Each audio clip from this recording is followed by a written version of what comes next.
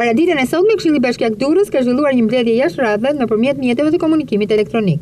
Në rendin e ditës ishin përcaktuar më herët tre projektvendime që kishin të bënin me problematikat e krijuara nga tërmeti i fund nëntorit dy mijë e nëntëmbëdhjetë dhe të përmbytjeve. Ndërsa mëngjesin e sotëm është shtuar edhe një pikë tjetër, duke çuar në katër numrin e projektvendimeve të paraqitura për miratim nga këshilltarët. Anëtarët që morën pjesë në këtë mbledhje dhanë dakordësinë vetëm për tre nga pikat e përcaktuara në rendin e ditës, të cilat janë. Një. Lista e dhjetë me subjektet përfitues të programit të grantit për rikonstruksionin ose riparimin e banesave të dëmtuara si pasojë e dëmeve të tërmetit të fund nëntorit dy mijë e nëntëmbëdhjetë. Dy. Kërkesa e Bashkisë Durrës, së bashku me dokumentacionin tekniko-ligjor për akordimin e ndihmës financiare për familjet e dëmtuara nga përmbytjet e shkaktuara nga reshjet e dendura në njësinë administrative Sukth dhe Katund i Ri. Tre. Lista e dytë e njëzet e dy subjekteve përfitues të cilët do të përfitojnë masën e grantit të rindërtimit të banesave individuale të dëmtuara nga tërmeti i datës njëzet e gjashtë nëntor dy mijë e nëntëmbëdhjetë, sipas projektit model. Ndërsa, për pikën e dytë të rendit të ditës, lista e subjekteve përfituese që do të përfitojë nga programi i procesit të rindërtimit për pallatin numër një mijë e gjashtëdhjetë e dy, rruga njëzet e gjashtë nëntori dhe pallati numër katërmbëdhjetë, rruga Petraq Boshnjaku, njësia administrative numër dy,